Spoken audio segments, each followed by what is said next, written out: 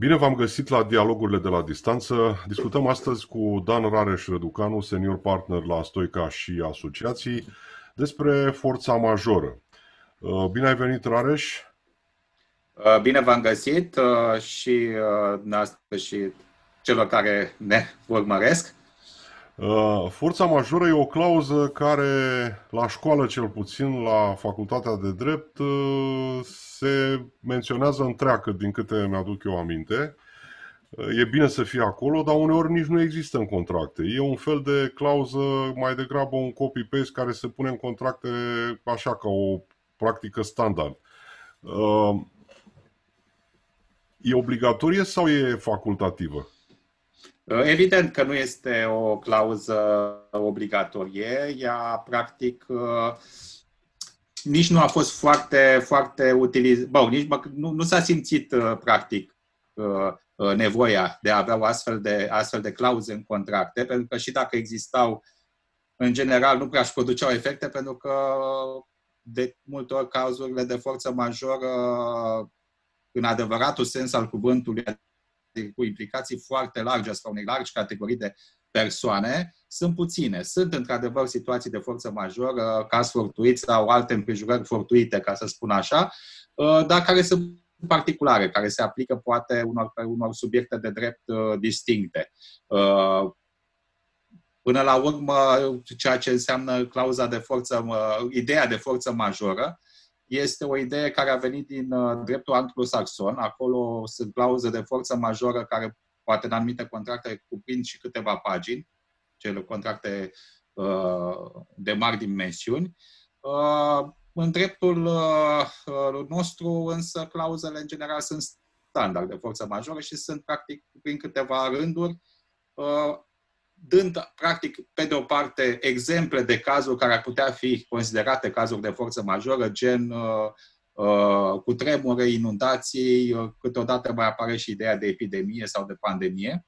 Apare ideea uh, de pandemie, că e interesant totuși. Câteodată, câteodată apare și ideea de pandemie și uh, epidemie mai degrabă, uh, sau uh, așa zisele epidemii în domeniul uh, veterinar, nu mai îmi scap acum exact cum se numesc, zo... Gripa aviară, gripa porcină... Ceva de, exact, ceva de genul ăsta. Da. Da, da, da, da, da. Sunt situații, de exemplu, în contracte care au, uh, uh, care au ca obiect, nu știu, comercializarea de uh, animale, să zicem chiar transportaliere, cum au fost cazurile, uh, cazul foarte mediatizat al oilor care pleacă în Arabia Saudită, de exemplu. Uh, în astfel de cauze, clar, trebuie să existe că sunt clauze de forță majoră care, în care se specifică foarte clar că dacă izbucnește o astfel de uh, epidemie în uh, regnul animal, sigur că nu există vinovăția celui care, celor care le, le livrează. Bun. Ceea ce trebuie să știe, zic eu, toată lumea, este că și dacă nu există o astfel de clauză de forță majoră, practic, uh, persoanele sunt, uh, sunt uh, protejate. Spun, sunt protejate, exact. Persoanele sunt protejate e chiar lege, pentru că există articolul 1351 din Codul Civil care spune foarte clar că dacă legea nu prevede altfel sau părțile nu convin contrariu, răspunderea este înlăturată atunci când prejudiciul este cauzat de forță majoră sau de caz fortuit. Cu alte cuvinte, dacă eu un contract n-am avut uh, o astfel de clauză, pentru că nu m-am gândit, pentru că, cine știe, mi-a scăpat sau poate i-a scăpat uh, consilierului legal, n-am o problemă cu asta, merg la codul civil și am găsesc acolo protecție, să zic așa. Câteodată este chiar mai bine, poate, mai ales pentru IMM-uri, că ele sunt în momentul de față cele mai, uh, uh, a, a, cele mai atinse de această situație. Uh, cel puțin în domeniul IMM-ului, eu tind să cred că câteodată este mai bine să nu ai o clauză de forță majoră, pentru că de multe ori atunci când un IMM uh, contactează, să zicem, cu cineva care are o forță de uh, juridică mai puternică, tinde să accepte în domeniul forței majore o serie de clauze care poate îl limitează în dreptul de a invoca astfel de cazuri de forță majoră, astfel de această instituție a forței majore.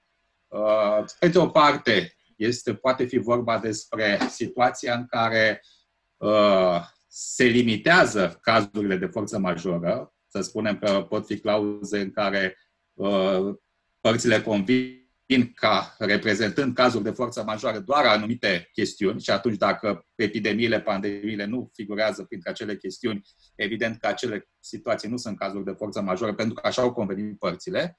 Pe de altă parte, există situația, există uh, posibilitatea de a accepta uh, necesitatea unei proceduri fie probatorii, fie chiar de notificare a forței majore. Probatorii de cele mai multe ori uh, impune necesitatea obținerii acelei avizări de la, de la Camera de Comerț și Industria României privind existența cazului de forță majoră, ceea ce implică o procedură întreagă și o taxă corespunzătoare de 500 de euro la acest moment.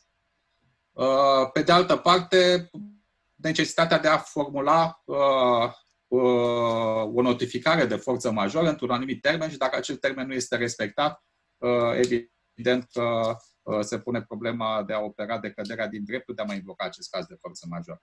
E, în codul civil lucrurile sunt mult mai clare. Și de asta spun că uneori este poate pentru IMM-uri este chiar mai bine să nu existe astfel de clauze de forță majoră, pentru că uh, codul civil operează cu un principiu. Și atunci codul civil spune în felul următor. Răspunderea este înlăturată atunci când prejudiciul este cauzat de forță majoră sau de caz fortuit. De ce? Pentru că nu există vinovăție în astfel de situații și vinovăția este unul dintre elementele uh, răspunderii civile delictuale și contractuale, răspunderii civile în general. Iar forța majoră este practic acel eveniment extern imprevizibil, absolut invincibil și inevitabil. Uh, iar o pandemie, de, o pandemie clar se, uh, uh, se înscrie în uh, sfera aceasta de forță majoră din definiția privită prin prisma de definiție din codul civil. Până acum, din experiența celor se fac deja două luni de zile de stare de urgență cauzată de pandemie. Ce situații de invocare a forței majore ați întâlnit voi în activitatea voastră ca avocați? În momentul de față, poate e prematur să discutăm uh, despre acest lucru. Sigur că în momentul de față există și cele mai multe întrebări le-am primit din partea, uh, în direcția, haideți să nu spunem din partea cui, dar în domeniul uh, relațiilor dintre proprietari și chiriași, pentru că mai ales atunci când este vorba de uh, moluri, molurile sunt închise, nu mai poate să asigure practic uh, activ, uh, activitatea chiriașilor în acele spații, în spațiile pe care le dețin, dar pe de altă parte, sigur că molurile sunt în continuare obligate și fac treaba asta, uh, au propriile cheltuieli cu asigurarea pazei, cu asigurarea chiar a unor anumite utilități. Uh, chiriașul, pe de altă parte, de asemenea, uh, folosește spațiile, chiar dacă nu le folosește în scopul de a vinde, să zicem, dacă este vorba despre un magazin în mall, nu mai poate desfășura activitate comercială, dar poate să desfășoare activitate de organizare, inventar uh, și așa mai departe, își păstrează bunurile în depozitele molurilor. Prin urmare, uh, pe de o parte, chiriașul spune, bun, de ce să plătesc dacă nu folosesc spațiu, dar pe de altă parte și proprietarul molului evident că spune că spațiul este folosit și sigur că nu neapărat la în ideea care au avut, pe care au avut-o părțile la momentul, în scopul pe care l-au avut părțile în vedere la momentul la care au încheiat contractul, dar este folosit în alte scopuri. Mai e un Fiecare argument... are mai e un argument, uh, Rareș, pe care îl uh, invocă chiriașii și spun așa, domne, eu vreau să-mi desfășur activitatea. Vreau să-mi desfășur activitatea cum am stabilit noi la început, când am făcut contractul, că trebuie să o desfășor. Dar nu pot pentru că m-a oprit guvernul. Uite ordonanțele militare. Da, este adevărat. Uh, nu poate să-și desfășoare activitatea exact în felul, uh, cum spuneam, este situația în care chiriașul nu poate să-și desfășoare activitatea în spațiul închiriat, în scopul pe care l-au făcut părțile la momentul la care au încheiat contractul. Pe de altă parte, spațiul respectiv rămâne la dispoziția chiriașului. Evident că într astfel de situații cea mai bună variantă este o negociere între chiriaș și proprietar, pentru că în lipsa unei astfel de negocieri se deschid porțile unor litigii destul de anevoioase, destul de lungi, uh, în care pe undeva se poate spune fiecare dintre părți are dreptate. Este, are, are cel mai bun ar fi o judecată solomonică, uh, ca să spun așa. Uh, pentru că, așa cum spuneam, fiecare parte are propriile sale argumente. pe care le poate invoca. Noi, ceea ce trebuie să înțeleagă, zic eu, cei care ne, ne privesc, este următorul lucru. Până la urmă, forța majoră nu este o instituție care să conducă la blocaj. Asta, asta, și asta cred că trebuie să fie esențial. Și asta, cred, ideea asta cred că rezultă și din ordonanța de urgență 29 pe 2020. Cred că asta a vrut să transmită uh, legiuitorul atunci când uh, a reglementat forța majoră în uh, această situație particulară, în, caz, în situație, în perioada stării de urgență. Ceea ce uh, Ordonanța 29 pe 2020 uh, încearcă să transmită este tocmai ideea că uh, forța majoră nu trebuie să fie uh, văzută de către actorii uh, piețe, pieței economice din România uh, ca fiind uh, o uh, situație care îi exonerează pe ei de orice fel de răspundere uh, uh, ar fi putut avea potrivit contractului. Uh, până la urmă trebuie să avem în vedere fiecare caz în parte și să, fiecare, și să se judece practic de la fiecare caz, uh, uh, fie caz în parte în mod separat și în funcție practic de elementele existente. Practic, forța majoră trebuie să fie văzută exact ca fiind ceea ce este. O împrejurare fortuită, o situație care îl exonerează practic pe cel care o invocă pentru că nu este vinovat cu nimic, dar nici nu îl poate uh, apăra în situația în care ar fi putut să facă ceva de natură să uh, împiedice consecințele negative, fie și în parte, consecințele negative ale forței majore. Uh, și mă refer aici la situații în care, să spunem, uh, unii chiar au prosperat în această perioadă. De ce să nu, nu spunem? Sunt situații în care uh, agenții economici s-au reinventat, au fost suficient de versatili încât să își diversifice producția. Uh, de exemplu, numai ca să dau un exemplu, cine în perioada asta a reușit să treacă de la uh, haine la combinezoane medicale, poate că a reușit să, să profite foarte mult de pe urma acestei situații sau la confecționarea de măști și așa mai departe.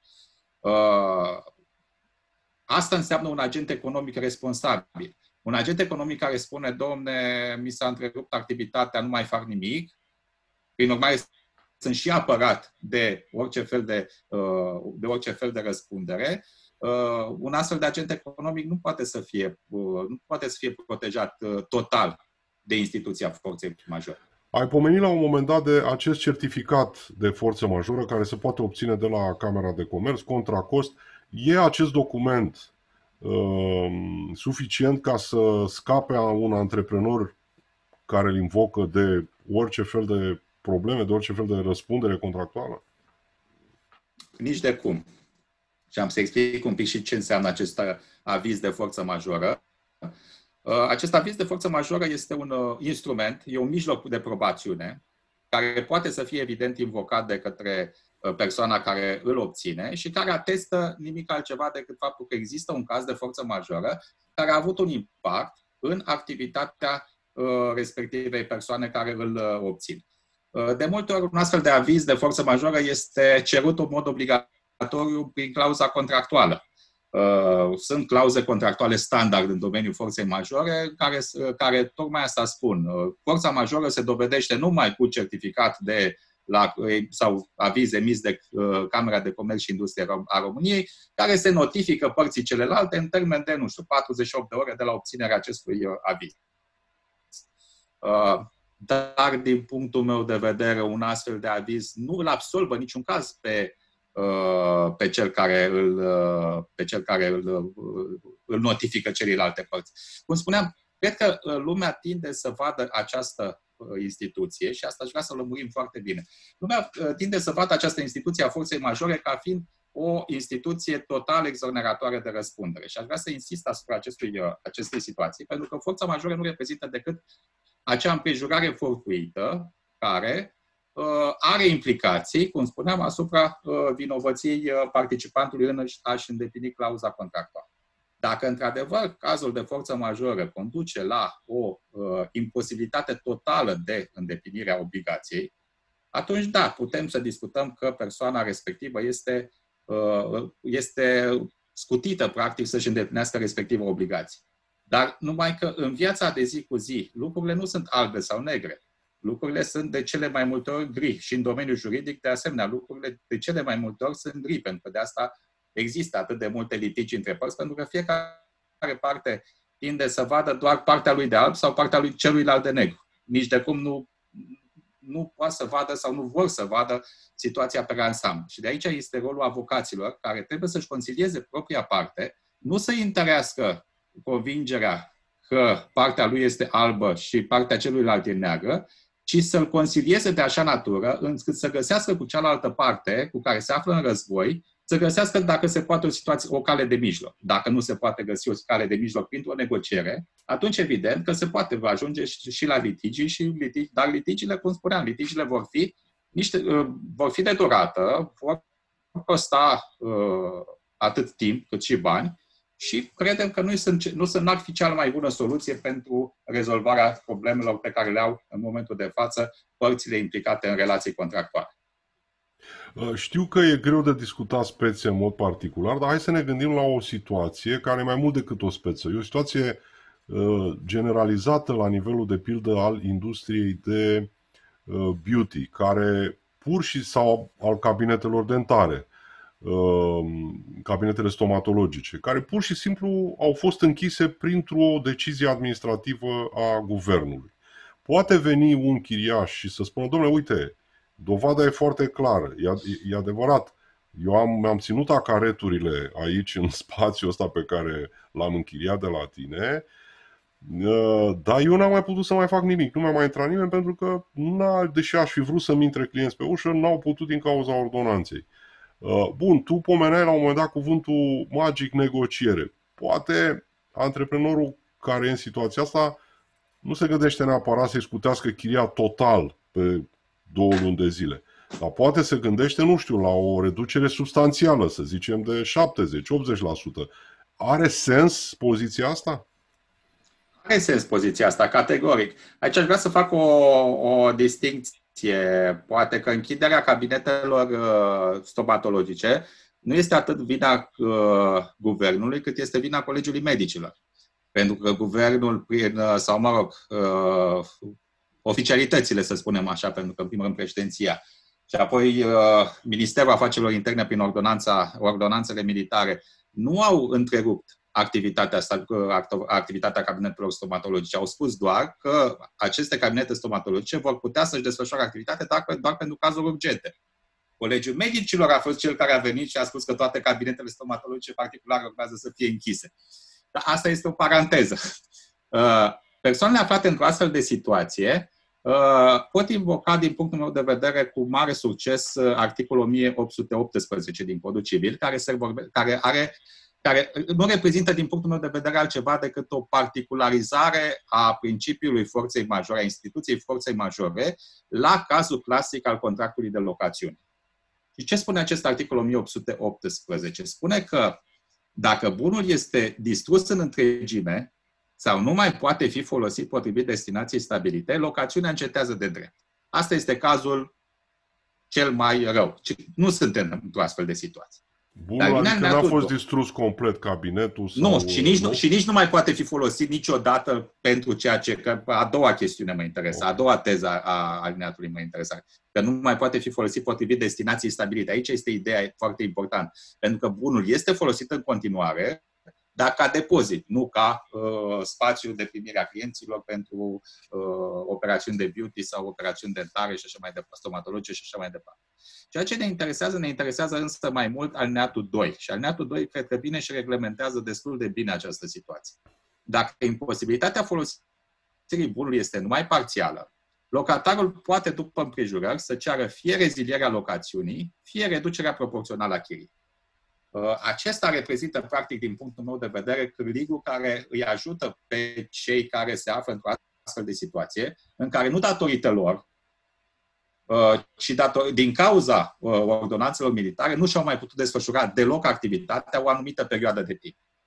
Și de aceea, că în astfel de situații, credem că și proprietarii trebuie să dea, să dea dovadă de înțelegere, pentru că, cum spuneam, pe termen lung, nu știu cât de ușor va fi să se gătească viitor chiriaș. Mai bine să am o relație cu un chiriaș care, în momentul de față, îmi plătește o chirie redusă, substanțial, evident, pentru astea două luni, perioada în care nici proprietarul nu a avut uh, cheltuieli foarte mari cu uh, întreținerea bunului, sau mă, nu cu întreținerea, cu uh, asigurarea folosinței bunului, să spunem, uh, și practic să se ajungă la o înțelegere. Dacă nu, într-adevăr, în cazul unui litigiu, din punctul meu de vedere, chiriașul se poate prevala de acest uh, articol, pentru că acesta, deși unii ar putea să vină și să mă contrazică, să spună da, dar ideea de imposibilitatea folosirii bunului ca fiind numai parțială are doar o natură, uh, cum să spun eu, uh, fizică. Uh, sau fizică, da, da, o accepțiune, o accepțiune fizică. Mai nu mai poți da. intra acolo, nu mai poți în să spațiu, mai nu mai poți să desfășoară activitatea într-un anumit spațiu. Să zicem că ar fi, uh, dacă vreți, uh, ar fi uh, situația acelui comerciant, acelui restaurant care nu mai poate să-și desfășoare activitatea la nivel, în schimb își desfășoară activitatea în bucătărie, pentru ca să pregătească mâncare pe care o livrează la domiciliul clienților. Asta să spunem că ar putea fi exemplu clasic, care s-ar putea mula foarte bine pe articolul 1818 alineatul 2. Uh, dar ce te faci cu acele uh, persoane care uh, nu poate să-și desfășoare activitatea deloc? Ce în saloanele de beauty. Și atunci, din punctul meu de vedere, această idee de imposibilitatea folosirii bunului ca fiind numai parțială are și o accepțiune temporală. Parțial nu înseamnă neapărat restrâns ca spațiu. Parțial înseamnă că pe perioada uh, contractului de închiriere, care durează, să știu, un an, doi, trei, pe o perioadă de două luni, o persoană nu are posibilitatea de a folosi respectivul bun în scopul pentru ca, pe care l-au avut în vedere ambele părți la momentul închirierii contractului. Sigur că e o chestiune care nu s-a mai pus până acum în jurisprudență și rămâne ca instanțele judecătorești să analizeze. Uh, dacă uh, punctul meu de vedere este cel corect, exprimat astăzi este cel corect, sau dacă, din potrivă, se are în vedere doar o accepțiune uh, fizică a termenului. Uh, mai există o situație pomenită în relațiile dintre chiriași și uh, proprietari, care nu e atât de clară, sau mă rog, nu e atât de vizibilă, și anume în contractele clasice dintre, nu știu, proprietarii de, să zicem, nu neapărat de moluri, dar de spații care puteau fi eventual rapid convertite la o altă activitate, cum ai pomenit și tu. S-ar putea prevala proprietarul de situația asta și să-i spună, domnule, dar aveai posibilitatea să te reinventezi rapid, nu e vina mea până la urmă, că n-ai găsit o soluție, tu antreprenor fiind și încercând să faci tot timpul profit. Desigur că poate să fie punctul de vedere al uh, unui proprietar care dorește să în mod legitim să-și maximizeze uh, veniturile pe care le poate produce un spațiu. Sigur, chiriașul de asemenea poate să vină și să spună că nu era obligația lui să fie mai diligent decât uh, persoanele normale și să încerce să Uh, se reinventeze pentru că uh, el a desfășurat acolo o anumită activitate. Uh, proprietarul, de asemenea, poate să vină și să-i spună că un comerciant, un profesionist, cum spune astăzi Codul Civil, nu trebuie să fie doar o persoană diligentă în mod obișnuit, ci trebuie să fie o persoană diligentă cu aptitudinile unui profesionist, adică unei persoane cu o inteligență mai mult decât Uh, decât media uh, și care ar fi trebuit, practic, în interesul propriu să-și dezvolte și să-și conducă afacerea de așa natură încât să minimizeze pierderile și, practic, și prin asta și pierderile uh, co-contractanților săi, deci să nu fie cauza unei reacții în lanț în domeniul economiei. Dacă părțile nu se vor înțelege, sigur că se va ajunge la instanță și instanța, în funcție de probațiunea care va fi administrată, va analiza și va decide. Uh, mie mi-e clar, mie cel puțin mi-e clar că negocierea uh, și compromisul e varianta cea mai puțin costisitoare, dat fiind durata proceselor, costul lor și așa mai departe. Uh, întrebare. Uh, pomeneai la un moment dat despre notificare, despre punerea în vedere că urmează să invoc starea de urgență. Am pierdut cumva niște termene în perioada asta? Trebuia făcută imediat ce au apărut? Nu. Nu. Nu, din punctul meu de vedere, Uh, decretul de instituire a stării de urgență este foarte clar. Termenele de decădere și termenele de prescripție uh, sunt suspendate pe toată durata stării de urgență. Uh, și, prin urmare, în care trebuia să fac ceva și n-am făcut în această perioadă a stării de urgență, din punctul meu de vedere, lucrurile nu sunt pierdute, trebuie să ai că acel termen începe să curcă de la momentul la care încetează starea de urgență, adică începând din data de 15 mai, după cum sunt toate semnele la acest moment. Care ar fi, uh, în cazul în care, uh, nu știu, starea de urgență sau invocarea stării de urgență e un argument suficient de puternic într-o discuție între cele două părți, uh, care ar fi elementele suplimentare care ar putea să fie aduse în discuție pentru dovada faptului că, nu știu, mi-a mers prost, pur și simplu?